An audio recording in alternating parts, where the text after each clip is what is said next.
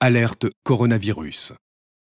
Si vous avez de la toux et de la fièvre, vous êtes peut-être con, mais lavez-vous très régulièrement les mains avec les mains. Si les signes s'aggravent, mangez du savon et fermez la. Ceci est un message du ministère chargé de la ceci. Si les signes s'aggravent, c'est con, restez chez vous.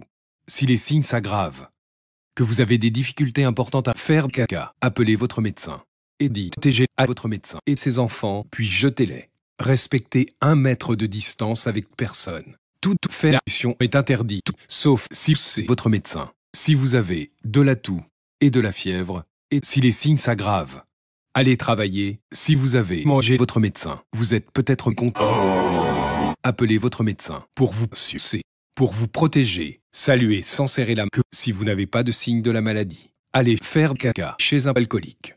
Limitez les contacts avec d'autres vous. Tout interdit est interdit. Toussez ou éternuez dans votre cou et puis jetez-les. Si vous êtes novice, vous mentez ça le compte. Allez chier dans un mouchoir. Si vous êtes nuisible, allez travailler. On va sucer votre médecin.